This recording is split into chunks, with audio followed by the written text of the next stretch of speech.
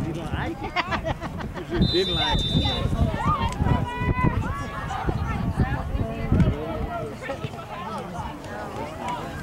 Hit him, hit him, hit